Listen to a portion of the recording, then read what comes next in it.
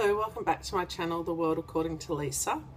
Today I'm going to do a review which I was asked to do a review by, I'll put her name below, um, for her friends on Instagram. She also makes YouTube videos, but on my three lipsticks um, by the Lipstick Queen, which is a Australian, well she used to be an Australian beauty designer. She was very famous, Poppy King, for making matte lipsticks. So today, uh, like I said to my friend that asked me to do this review, uh, I'm not in any way, shape or form a beauty guru. So, um, like Lisa D on here, who is adorable and is great about talking about makeup. Uh, so today this is her metal, the metal collection. They come in three, you buy it as in a pack. I pretty much think that's how you buy it in a pack. Um, that's how I got it anyway, off the Mecca, which is an Australian company. So what I find very handy about these lipsticks is that the colour is also on the bottom. So get that, that reflection right there you go. I'm filming right near my window uh, of my desk and where I put my makeup on. So if you're in a rush, not only is the name on the bottom, but the colour.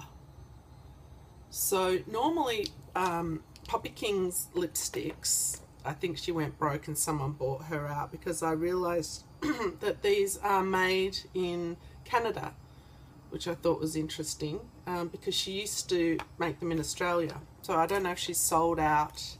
I really should have Googled.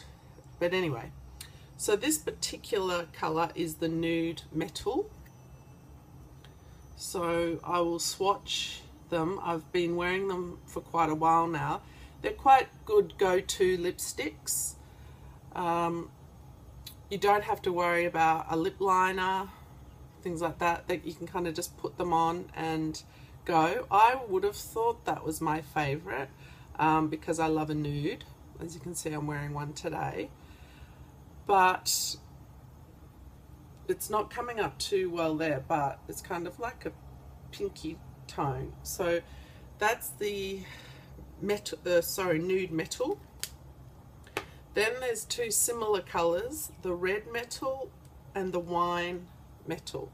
So we'll do the red metal first, which is that one.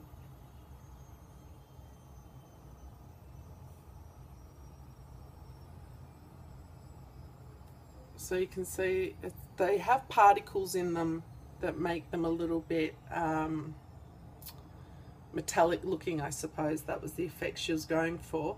Most of her lipsticks, like I said, used to be very matte. They were no way, shape or form have anything else in them. So this is very different for her. I'm not sure if the other ones are still available. I would like to try and get them because they're such long lasting.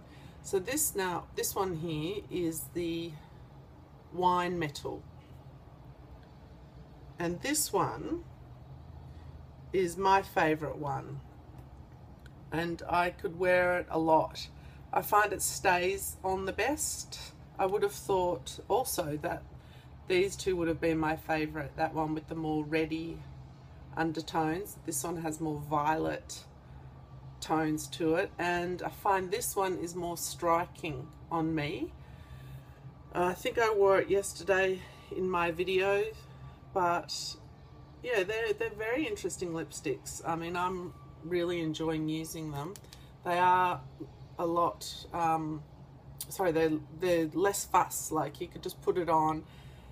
You don't have to put them on perfectly. So I find if I put a lipstick on, I really have to like put a put a gloss before, then my lipstick or the liner, and then a gloss afterwards or something. So that's the three lipsticks. This is just a little short review on them.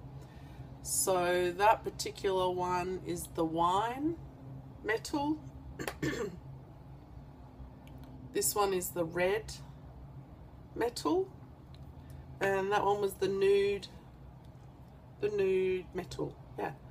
So yeah, so if you want to go online and try and find them, I have seen them at Nordstrom's and different um, sites. And once again, she's called the Lipstick Queen, and it comes in cute packaging. Yeah, so that's it. Hope you enjoyed this review, and let me know if you'd like me to do any more makeup reviews, or I'm gonna um. I've been tagged to do the eight most usable wearable things in your wardrobe. So I will probably film that very soon. Okay. Thank you. Bye